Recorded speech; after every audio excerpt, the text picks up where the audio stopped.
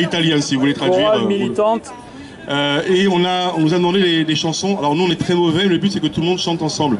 Donc on a pris certaines chansons militantes, dont Bella Ciao, La Lega, Clandestino, Lily, etc. On va les distribuer pour tous ceux et toutes celles qui voudront chanter tout à l'heure. Voilà.